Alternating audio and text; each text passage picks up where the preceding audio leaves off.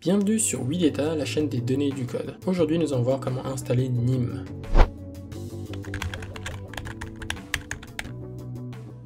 Et avant de commencer la vidéo, si c'est la première fois que vous venez sur cette chaîne, sachez qu'on fait des tutoriels en statistiques et en programmation.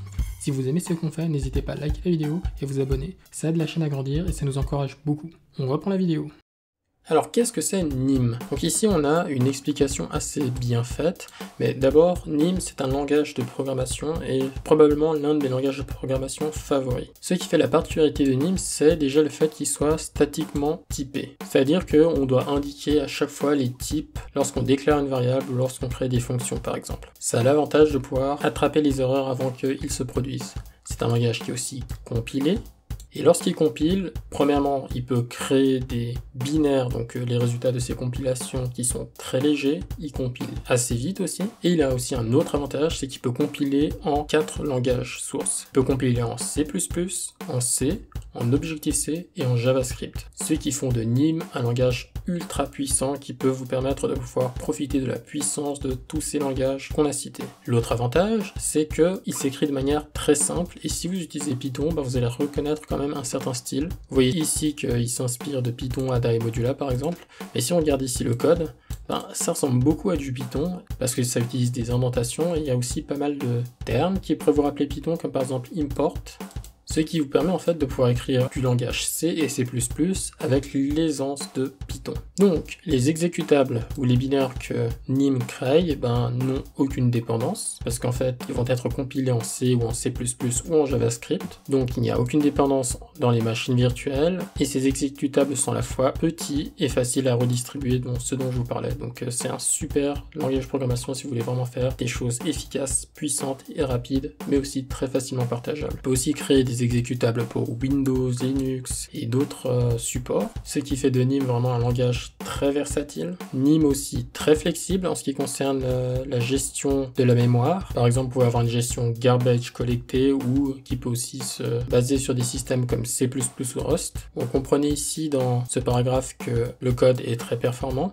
Comme j'ai dit avant, il peut compiler en C, C++, JavaScript, mais aussi Objective-C. Mais il peut aussi utiliser les scripts de C, C++, JavaScript ou même des fonctions ou des choses qui ont été créées par ces langages dans son code. Donc euh, NIM est aussi considéré comme expressif. Donc le compilateur ici a été fait aussi en NIM comme les librairies standards. Donc NIM est vraiment fait par NIM. L'une des grandes forces de NIM est aussi euh, son système de gestion des macros qui, si je ne me trompe pas, est plus performant déjà que celui de Rust de Julia, par exemple. Aussi, euh, la syntaxe de NIM est très flexible, c'est pour ça que les macros ne sont pas censés changer ça. Bien sûr, vu que NIM est très récent, il a aussi un système de type très moderne. Et effectivement, NIM a été créé en 2008. Et bien sûr, comme je l'ai dit, ça utilise l'indentation. Donc, euh, je suis pas un spécialiste en programmation, mais NIM m'a beaucoup intéressé de par ses capacités et ses exemples. Et donc, euh, si jamais ça vous intéresse, n'hésitez pas à aller voir tout ça. Donc, nous, nous allons passer à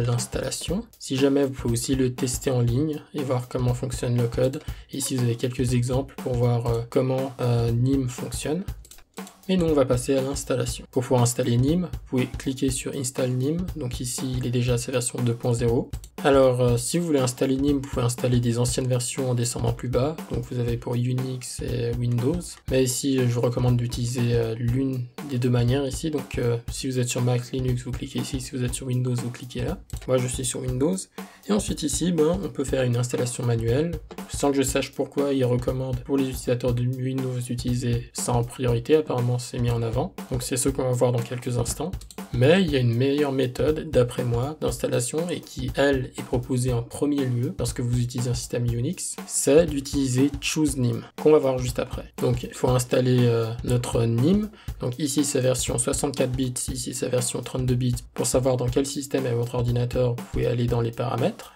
Ensuite aller dans Système, après aller tout en bas dans Information Système, et puis ici vous avez une information dans type du système qui est le système d'exploitation 64 bits. Pour moi, mais généralement, si vous avez un ordinateur moderne, vous devriez avoir ce genre de choses. Donc on peut fermer ça. Et aussi le rappel ici, donc si vous ne savez pas lequel choisir, c'est très probable que ce soit version 64 bits. Donc on va cliquer là-dessus. Donc l'installation se fait. Vous pouvez ouvrir le fichier zip et on va l'extraire dans notre bureau. Donc nous y voici. Donc le travail est terminé, on peut fermer ça. Et en fait, NIM ne va pas s'installer sur votre ordinateur, il faut simplement que vous ayez le bon compilateur et pour ça en fait, il faut regarder ce qui se passe à l'intérieur. Donc si vous avez des doutes sur ce qu'il faut faire, vous pouvez retourner sur le site. Et ici, en fait, il va vous donner quelques informations, dont notamment le fait de configurer le path, donc pour que NIM et Nimble soient accessibles dans votre terminal. Et donc ici, il va vous indiquer euh, comment faire, mais la manière la plus simple, en fait, c'est d'utiliser le finish.exe. Ce que ce finish.exe va faire, c'est qu'il va essayer d'ajouter déjà ces deux éléments dans le path qui sont importants au fonctionnement de Nim et de Nimble. Et mes excuses, Nim, c'est le langage et Nimble, c'est le gestionnaire de package de Nim. Mais il va aussi installer un compilateur C parce que c'est nécessaire qu'il soit disponible sur Windows. Et c'est là où il y a cette explication ici. Donc ici, on a besoin d'un compilateur pour C. Donc vous n'avez pas besoin d'utiliser ces liens ici. Normalement, avec le finish.exe, c'est censé fonctionner. Donc on retourne à notre dossier. Donc ici, il faut qu'on trouve un finish.exe, et c'est ça. Si le .exe n'apparaît pas, ce n'est pas un problème, normalement, vous savez que c'est une application parce que c'est écrit ici dans le type. Donc on peut lancer ça. Donc si jamais euh, vous pouvez avoir aussi une protection de Windows qui s'active, j'ai déjà installé Nimble et Nim, ce n'est pas un problème, vous pouvez continuer en allant dans information complémentaire et vous mettez exécuter quand même. Ensuite votre terminal va s'ouvrir, donc on va zoomer un tout petit peu pour que vous voyez bien. Ici, il va dire qu'il va installer nimEx dans notre path, enfin installer l'indiquer dans notre environnement. Il va demander si ça doit être ajouté de manière permanente, donc on va mettre Y pour yes, donc oui.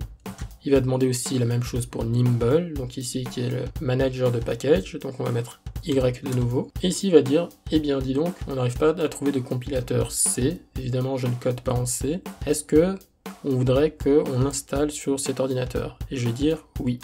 Et là, il se met au travail. ici, il va demander si on veut installer NIM dans notre menu de démarrage. Donc on peut mettre oui par exemple. Et comme vous venez de voir, ben, mon terminal vient de se fermer, donc tout devrait être installé. Donc si je vais dans ma barre de recherche et que je tape NIM, je devrais trouver l'application NIM et je peux cliquer dessus. ici il m'indique le chemin du dossier NIM. Alors pour être sûr que NIM est bien installé, on va taper Nimble, on va mettre un espace, on va mettre un tiret et on va mettre V pour version. Et si vous indique la version de Nimble, c'est que Nim est bien installé sur votre ordinateur. Super. Mais comme je l'ai dit avant, ce n'est pas ma méthode favorite d'installation de Nim. Il y a une méthode bien plus efficace, à mon avis, qui va vous permettre de pouvoir changer de version de Nim très facilement parce que ici, si une nouvelle version de Nim arrive, il faudra que je retélécharge manuellement, que je réinstalle le tout et que je refasse tout le travail que j'ai fait de nouveau, ce qui peut être assez chronophage et casse-pied. Et en fait, si on veut retirer Nim, c'est pas très compliqué, c'est juste un peu casse-pied sur les bords parce que Nim en fait ne s'est pas installé sur votre ordinateur. Tout ce qu'il a fait, c'est garder le dossier qu'on a mis sur le bureau comme dossier de référence pour le travail. Tout ce qu'on devra faire, c'est supprimer le dossier et retirer Nim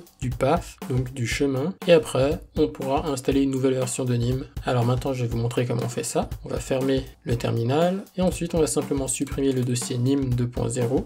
Après, il faudra juste aller retirer Nim du path. Donc vous allez mettre euh, variable dans votre euh, barre de recherche et vous allez cliquer sur modifier variable d'environnement. Ensuite, vous allez aller dans variable d'environnement, puis vous allez aller dans path et double-cliquer et vous allez voir qu'il y a nim et nimble qui sont dans le path. On peut simplement les supprimer. Parfait.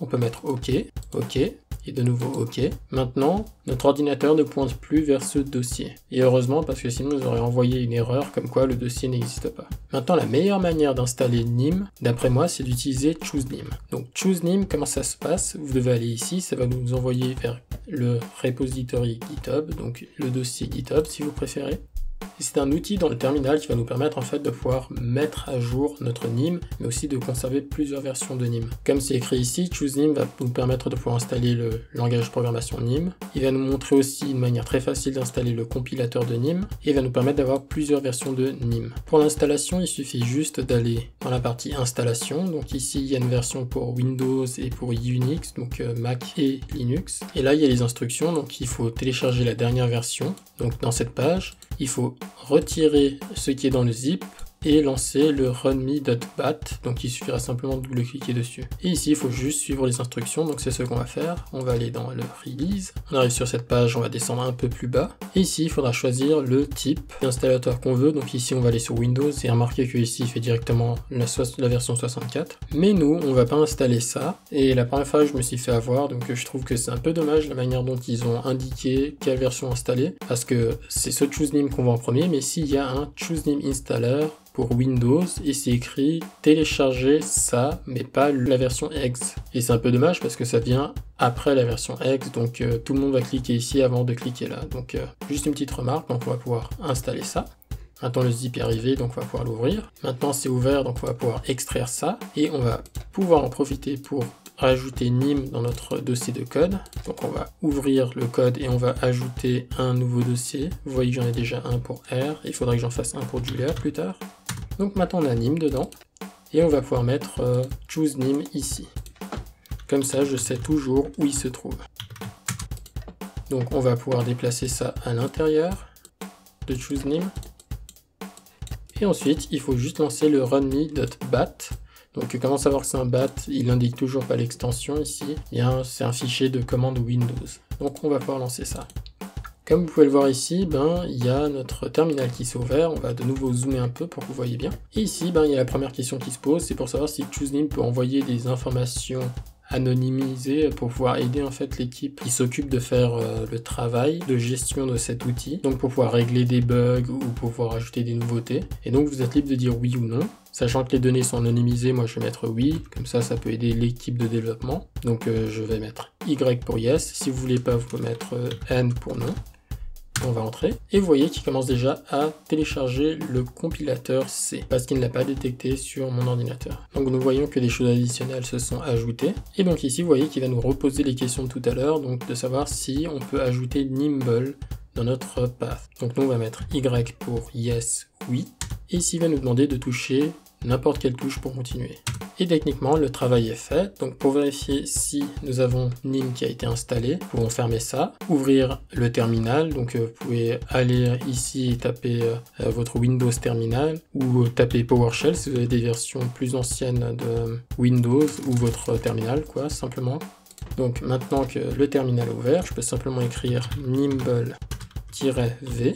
Donc ici, il nous a bien montré notre version de Nimble, qui est celle-ci.